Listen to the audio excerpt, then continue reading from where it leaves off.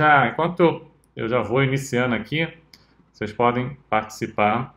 Alguém já precisou gerar formulário em PDF? Como é que está a experiência de vocês nesse sentido?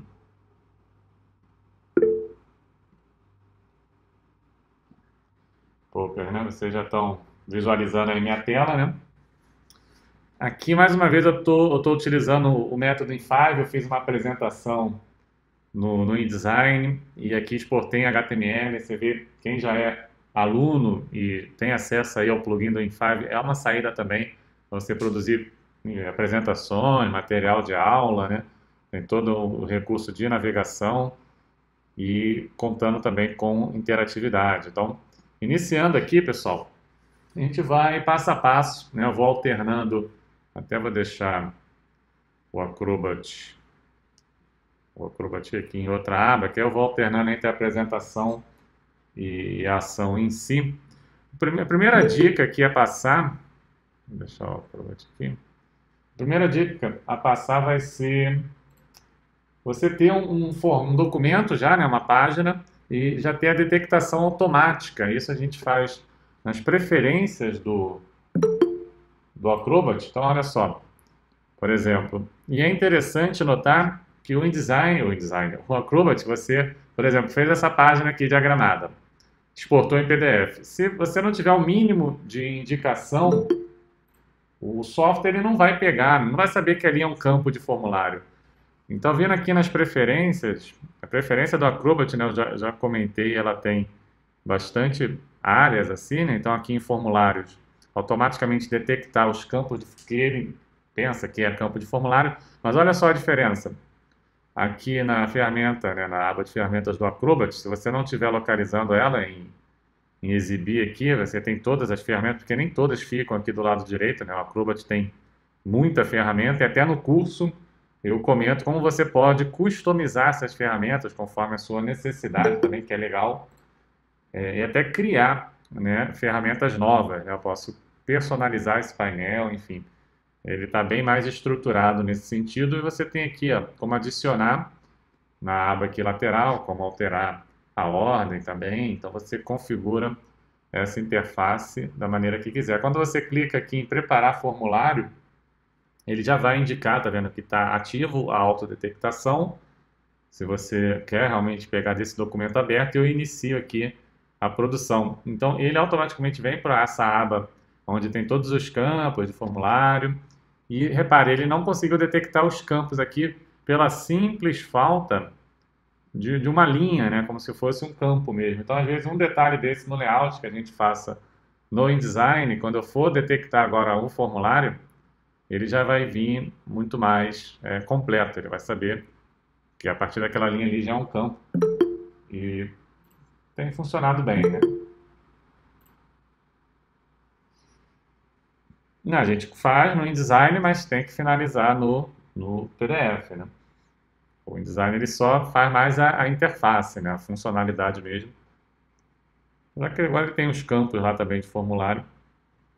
Mas no, o, o, Acrobat é mais completo, né? Ele, ele, faz isso já há muito mais tempo que, que o InDesign. Então aqui, começando essa dica, vamos pegar então, comentar um pouquinho sobre uns campos é, mais característicos. Aqui eu estou usando um, uma galeria, tá vendo? Que aí são as principais abas das propriedades que é, é em comum, né? Por exemplo, então, se eu pegar, vamos abrir um outro arquivo aqui, ó campo de texto, né, checkbox, a gente tem, um, começando com esse aqui, já tem uma estrutura, né, já bem, bem marcada, então quando você partir aqui para preparar, ele já monta, né, repare que ele pega esse nome, o nome do, do documento, né, o nome do campo, ele tem que ser único.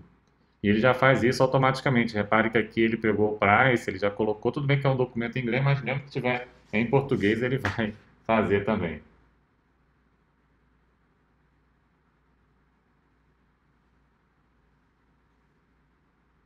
Beleza?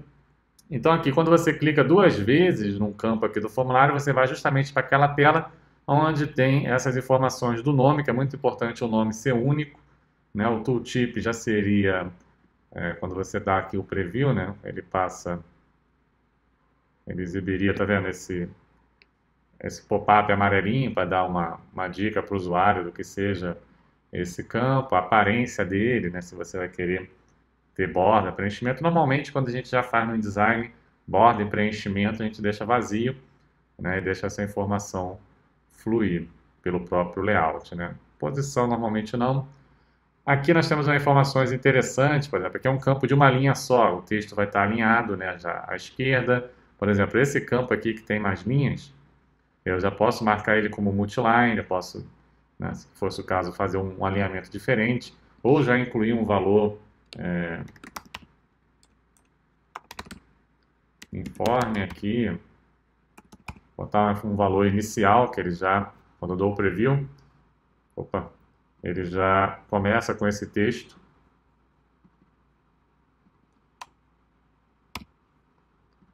Né, ações, então são, são funções básicas assim do, do formulário.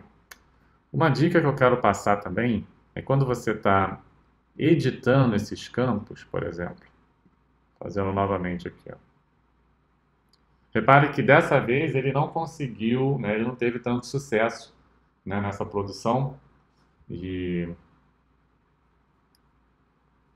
a gente pode agora complementar na mão, né?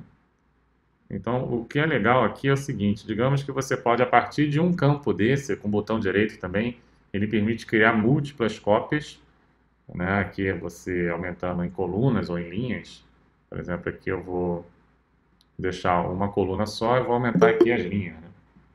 Tá vendo? Isso já dá uma agilidade.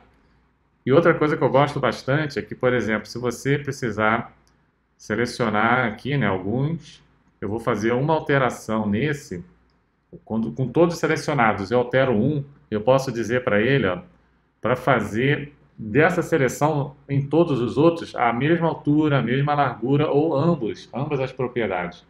Então, quando eu clico aqui em Both, ele já, para a direção dele, mas ele já deixou tudo na mesma largura já para poder dar uma alinhada aqui. Então isso é bem, bem útil também. E assim você iria complementando né, a área aqui do, do formulário. Beleza? Outra dica que eu quero passar são dois tipos de, de propriedades assim específicas, como o drop-down, né? por exemplo. Eu posso também é, não querer que ele crie automaticamente essa, essa, essa marcação, né? Então aqui eu posso mudar para desabilitar, né? E aí ele não faz nenhum. Então aqui nós temos os campos né, de texto, checkbox, o radio. Aqui vamos falar do, do drop list. Né? A gente tem dois tipos né, de drop list, vou mostrar aqui rapidamente essa diferença para vocês. Ó. Esse, esse list box que ele chama, esse aqui eu acho não tão interessante, porque ele lista, por exemplo, aqui, ó, vou botar aqui como se fosse estado, né? Família abreviado mesmo, Rio, São Paulo, vou botar só do, do Sudeste. E aqui, estados, tá vendo? Você consegue acertar a ordem, por exemplo, para exibir. E aí você precisa uh, fazer uma, uma, combinação aqui do tamanho do corpo com a área visível, para não ficar aparecendo o, o, a outra opção já, né? Tá vendo? Você, porque quando eu dou preview, ó, ele vai listar por dentro do próprio campo. Ele não vai abrir um, um drop-down, né? Então você tem uma, uma experiência diferente desse aqui. Como o nome sugere, né?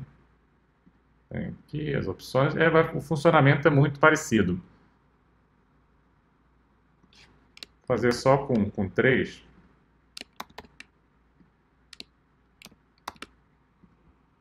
É bom colocar né, um, um estado inicial.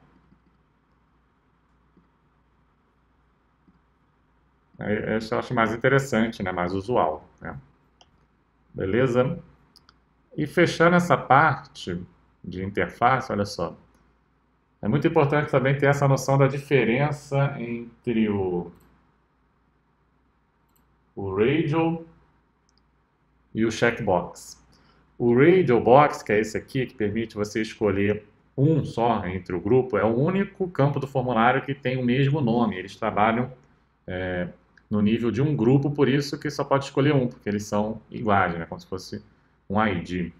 Então aqui, preparando esse formulário também, ó, ele não conseguiu detectar nada. Esse aqui é um bom exemplo para a estrutura de duplicação, né? porque eu posso criar um aqui, ó, criei um, botar o nome dele de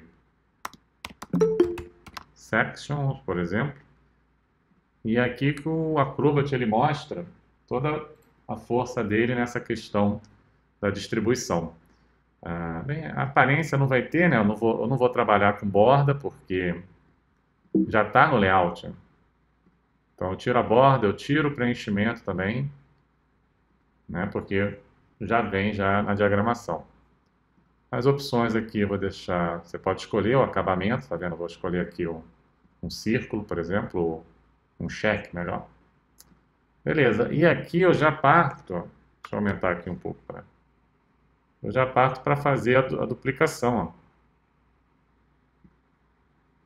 No caso, você tá vendo? Ó, quantos quatro linhas você também consegue controlar o espaçamento entre eles.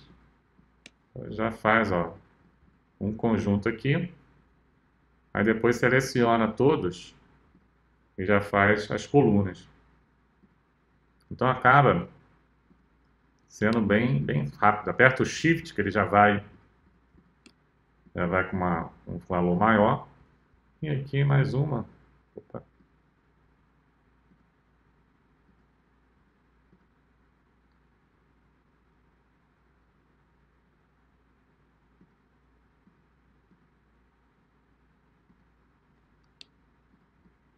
Ele perdeu a informação. Bem, entenderam aqui a vantagem desse, dessa estrutura, né, óbvia. O interessante é que ele já muda o nome, claro, para poder atender aqui a necessidade e já está funcionando. Aqui, né, nesse caso, eu posso marcar quantas sessões eu quiser participar, certo? Na outra situação, quando eu faço com Radio Box, aí eu vou ter uma atenção maior. Vou botar aqui date. Então você, olha só, ele já tem um campo diferente, ele faz até um alerta, porque o nome vai ser mantido o, dentro de um grupo. Você pode ter vários grupos, né, se for o caso, e cada grupo ele vai alternar a, a marcação, né? Você só vai poder marcar um naquele grupo. Então eu vou tirar aqui também. Ó. Ele vem com um default dele, né? Com, com preenchimento e contorno. Aqui é a mesma coisa,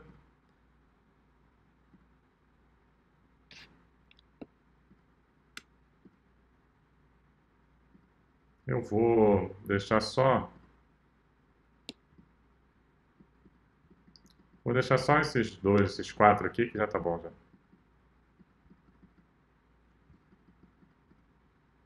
Aí, tá vendo que ele monta separado.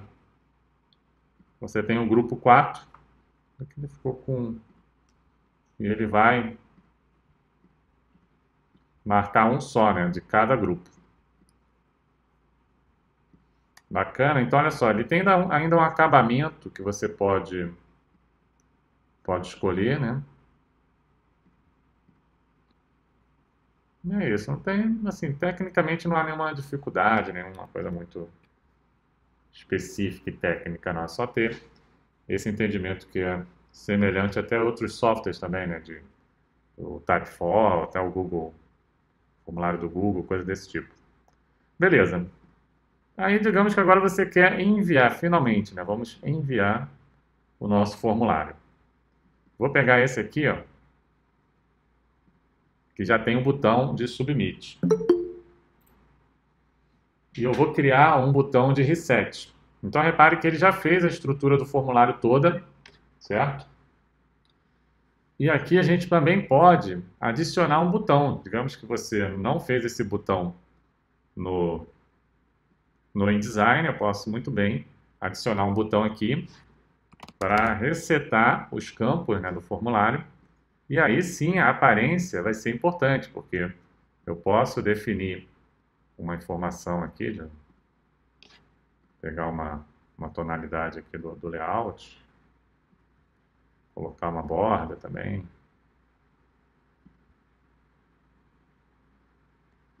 E eu posso, cadê? Até definir aqui um label, tá vendo? A gente, essa parte aqui lá no curso só tem detalhe mais que eu poderia ter um ícone e um label, tá vendo? Somente o label, somente o ícone. Label seria um texto como eu adicionar aqui, ó, reset. Aí ele já vai escrever o reset, o comportamento do botão, se ele vai, ele vai inverter, ele vai dar um efeito de push, né? O push, ele já permite que eu tenha um texto diferente em cada um, né? Aqui já botaria, sei lá, limpo. Quando eu passar o... Limpo não. Limpar, uma coisa desse tipo. Quando eu passar o mouse, tá vendo? Ele muda para limpar.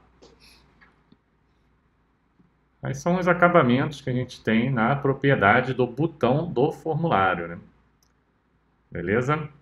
Aí nós temos a ação que esse botão vai fazer. Então o mouse app é a, a ação, né, o evento do botão mais indicado, que é o levantar do mouse, né, quando ele clica. Aí nós temos várias ações, tá vendo, que são interessantes. Um, um aqui que é, vale comentar também é exibir ou ocultar algum campo de formulário, dá até para fazer uma brincadeira aqui no PDF também. É, imprimir é outro que é, é interessante utilizar, cadê aqui?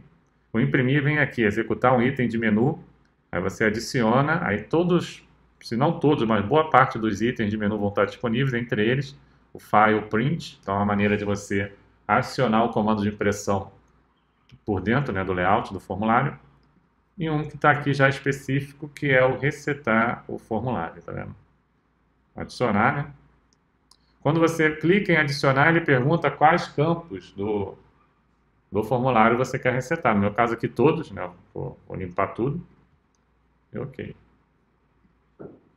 Então aqui se eu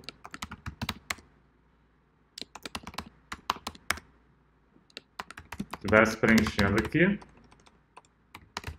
Clicou aqui em resetar, né? Limpou tudinho sem mistério. Agora, o botão, ele, ele já transformou em botão aqui, ó. Identificou essa área do layout, já transformou em botão. Se eu clicar duas vezes, ele já tem né, a, a estrutura dele, a aparência. Ele até pegou aqui um preenchimento, que isso parece ser um desenho, é um objeto feito no design, a princípio. Então ele já ou foi criado aqui no Acrobat mesmo, porque ele está com valor de está sendo editável aqui, tá vendo? Então foi um, é um botão criado aqui mesmo com esse efeito de, de relevo. Aqui, ó, a gente pode mudar essa aparência dele, ou ele ser sólido, tá vendo? Dá para dar esse, esse tipo de acabamento, posição, opções. Aqui só o label, tá vendo? Vamos aqui enviar. E as ações que nesse caso aqui vai ser o submit a form. Aí é que está aqui o, o pulo do gato. Né? Essa é uma das formas assim mais práticas para distribuir um formulário, porque você vai colocar o seu e-mail, né? o e-mail que vai receber o conteúdo de volta, certo? Então aqui vai entrar a propriedade mail to, né? deixa eu ampliar aqui, ó. tem que entrar o protocolo, né? mail to, dois pontos, no caso, vou botar aqui, ó, contato, arroba. Então, aqui é o seu e-mail que o usuário final vai enviar os dados aqui do formulário. Existe esse formato que é o, é o For Document for Format. É um, é um formato de formulário. É o que o Acrobat usa internamente para poder fazer essa troca de informações. Né? Esse é o mais indicado esse, todos os campos né, de formulário ele vai incluir comentário, é mais específico, nunca testei. Incremental changes também não. Acho que esse aqui é o usual. Todos os campos, né? Você pode também querer escolher. Também faz sentido ele você receber só alguns campos e não todos. Certo? Aqui são outras opções que aí demandam uma outra estrutura. E é isso, ó. Criou um botão, definiu ele como submit a enviar o formulário, colocou seu e-mail aqui e está pronto. Está pronto para enviar. Posso até compartilhar com vocês. Deixa eu fechar aqui, ó. deixa eu voltar aqui na apresentação. Então, aqui na apresentação, nessa parte inicial, a gente comentou as características aqui dos campos, né? principalmente o radio box, o checkbox, e aqui o submit, é justamente nessa tela que eu estou comentando, né, o uso do meio to. E aí eu distribuo o formulário. Posso até, vou salvar ele, deixa eu salvar aqui.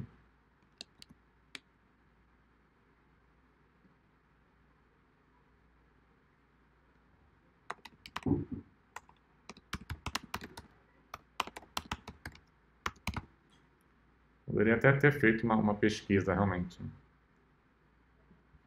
Eu vou até botar aqui para vocês. Né?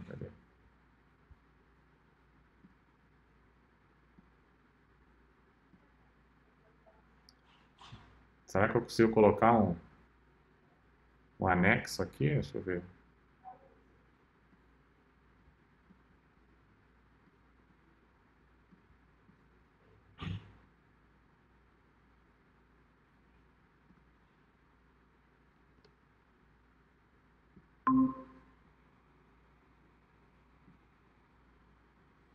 Eu acho que eu não consigo enviar né, para todo mundo.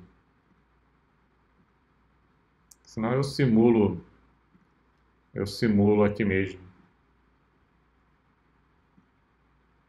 Senão eu simulo aqui mesmo para vocês.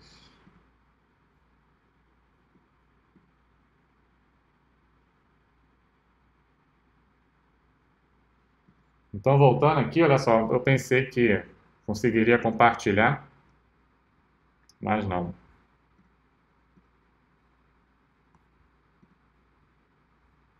Então, como é que vai funcionar? Voltando aqui no, no Acrobat. Então, eu recebi o recebi aqui o formulário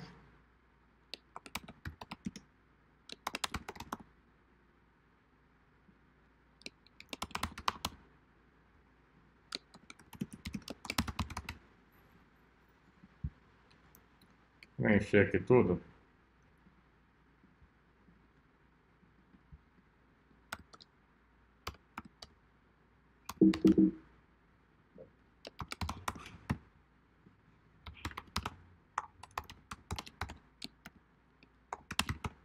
Beleza? Então, você preenche vai clicar em enviar direto.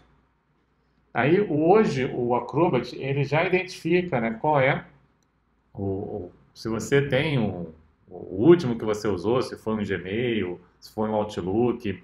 Como eu já fiz esse tipo de envio por ele, ele já está, né, e eu escolhi o Gmail, então hoje ele está mais inteligente no sentido que ele identifica se tem um software do sistema operacional, como o Outlook ou, ou aqui do Mac, ou se vai usar um serviço externo.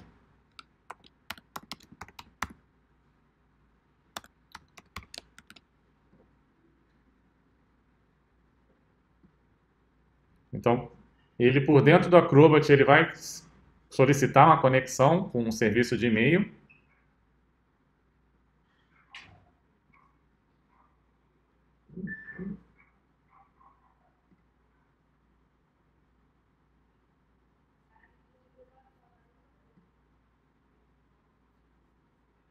E não enviou, né?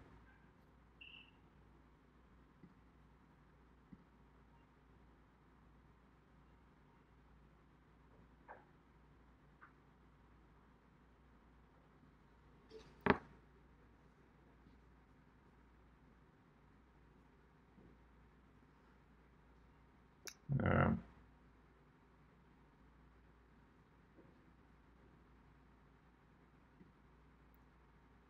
Ele deveria. Ele deveria ter criado já.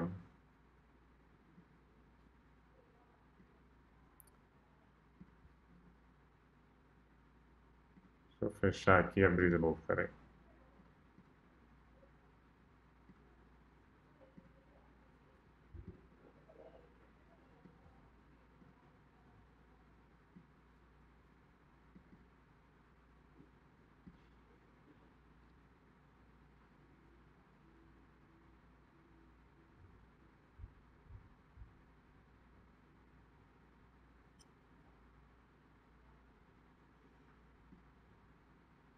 Não. Uhum.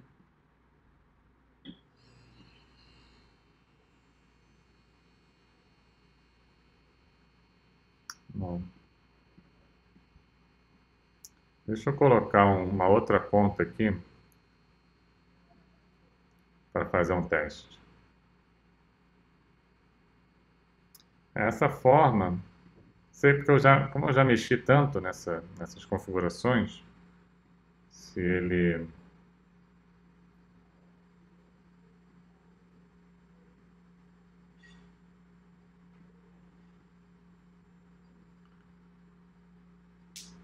Ah, não, é que ele está mandando pelo contato, né? É, porque isso não é o meu, isso não é o meu e-mail, contato não é o e-mail principal, né? Isso aí já seria um erro meu, né? Por isso que ele estava indo para outra conta. Então, normalmente a pessoa tendo um e-mail, né? Porque eu tenho atalhos do Google, é outra configuração. Tendo um e-mail normal configurado,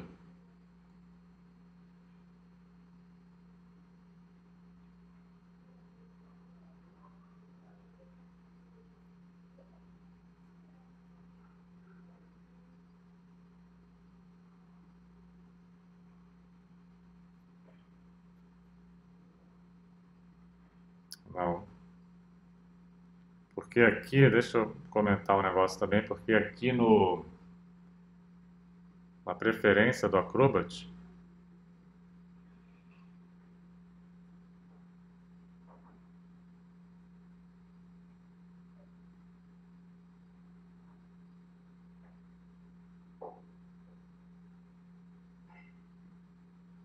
Aqui em identidade, a gente coloca aqui a informação do e-mail que ele vai utilizar, tá vendo? Aqui eu estou botando dualpixel, arroba dualpixel.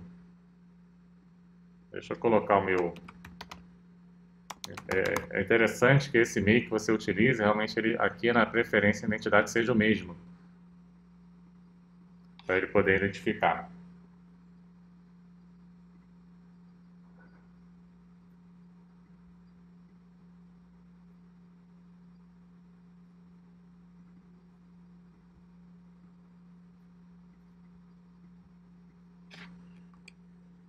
Né? Então aqui definiu.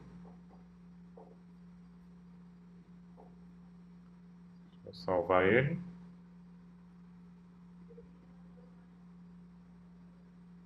Então aqui ele está mostrando, está criando uma mensagem de rascunho.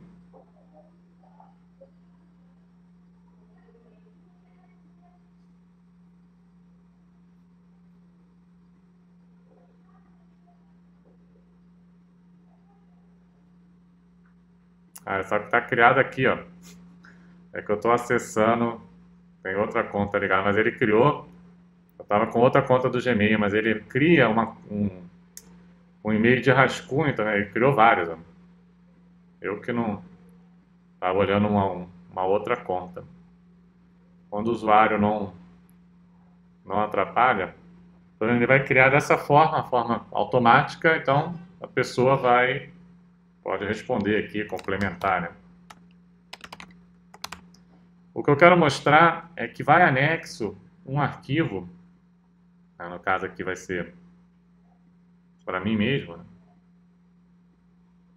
vai anexo um arquivo com aquela extensão FDF. E é a partir desse arquivo que você consegue coletar. Né? Digamos que os usuários todos, você distribuiu o formulário todo mundo, 10, 20 pessoas responderam e você vai recebendo esse, esse arquivo de volta. Então você vai ter vários arquivos até com o mesmo nome, né, a princípio.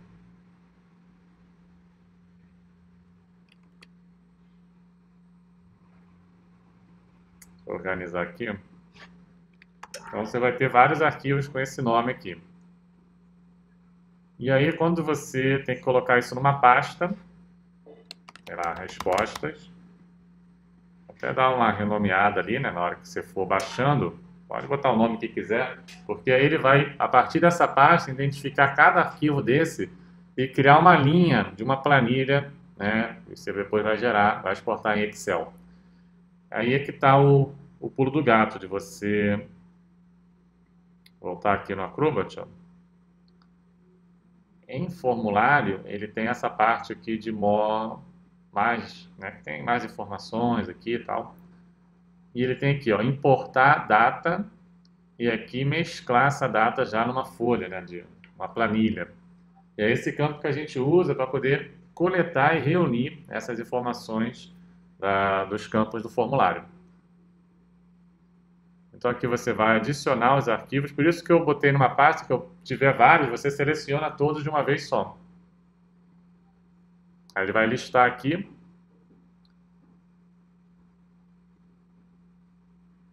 Ele já exporta aqui como um CSV, ó.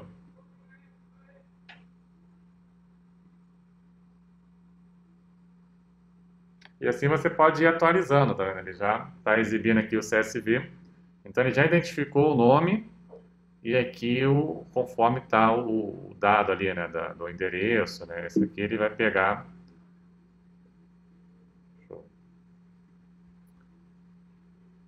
Aqui o nome, aqui essa ordem que ele colocou aqui,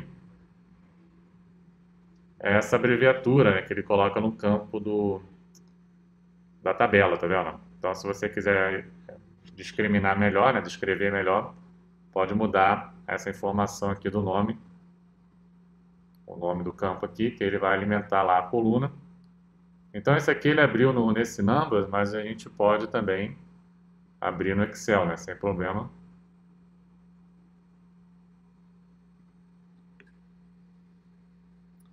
Então, essa é a dica, pessoal. Você, né, o usuário, né, conseguir enviar esse, esse PDF né, anexado no e-mail, né, para o e-mail que você define,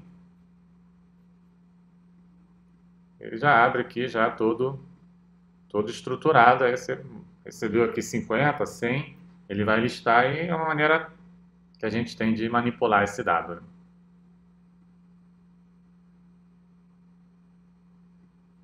Bacana, pessoal? Algum comentário? Querem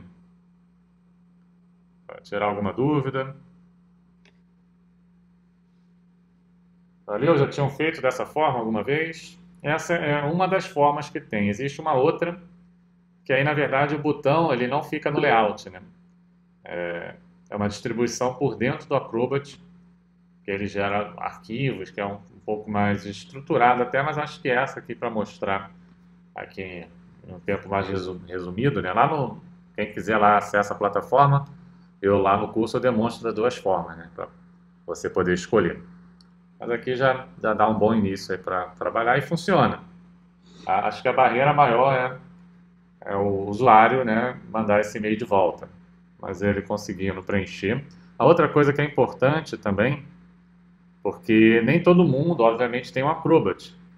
Então, é, é fundamental, na hora de você salvar, né, na verdade, você vai salvar para PDF, né, que como um outro formato do PDF, outra variação, e habilitar, tá vendo? Enable More Tools é fundamental essa etapa, porque senão as pessoas não vão conseguir preencher o formulário.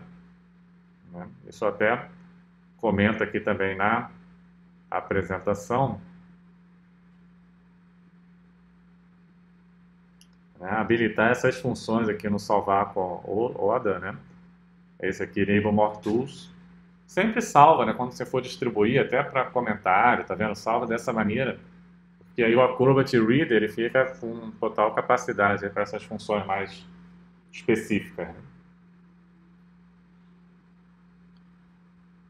Beleza, pessoal? Então, recado dado aí, mas é, o PDF ainda com, com a sua utilidade né, para essas funções. Para quem não conhece, deixa eu dar aqui uns recadinhos finais, se vocês quiserem participar, fiquem à vontade. Até quem quiser ligar o áudio pode falar aqui comigo, a gente troca uma ideia, conversa aqui sobre qualquer dúvida. É, Para quem ainda não conhece, né, essa aula ao vivo é parte aqui da, do, do Alpix Academy, né, que é a nossa plataforma de assinatura. Né? Também nós temos os cursos avulsos, quem quiser conhecer aqui do alpixel.com.br barra cursos, né, vai acessar aqui os cursos avulsos online.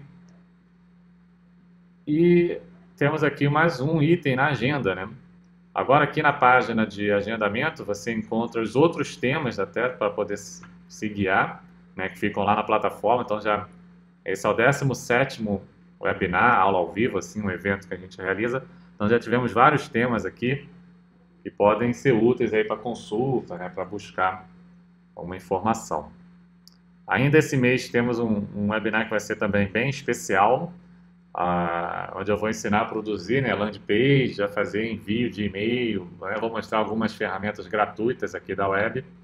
A ideia vai ser a partir do InDesign, produzir uma landing page simples, né, mais responsiva, contendo imagem, contendo título, texto, um campo de formulário, e você vai receber esse lead da pessoa, então você quer prospectar um serviço, alguma coisa, você pode produzir essa landing page, coletar né, esse lead, esse e-mail, o nome da pessoa e já ficar numa plataforma online para disparar e-mails, como eu faço com vocês. Né? É, então aqui 0, 0800, não vai, só o InDesign e o InFive, né, que vai precisar ter acesso. Vai poder hospedar de graça, fazer até mil envios. Então, para quem quer iniciar aí no, no, marketing digital, é um caminho aí bem, bem acessível. Né? Então, esse vai ser um material bem bacana, hein? Que eu estou preparando para a gente, que já dando né, um aquecimento aí para o que vai vir do, do método Infive aí dentro do, do Academy. Beleza, pessoal? Algum, algum comentário? Aqui também você tem a listagem, é um link aqui para a playlist né, da, do Academy aqui no YouTube. Então temos aqui algumas playlists. Esse do Academy eu venho atualizando, então tem vários vídeos aqui já, 29 vídeos aqui. São fragmentos aqui das aulas com dicas também, então quem não acessou pode dar uma olhada. E uma playlist só sobre o método Infável também com dicas aí dos recursos do que esse plugin é capaz. E é isso, pessoal. Fechamos aqui.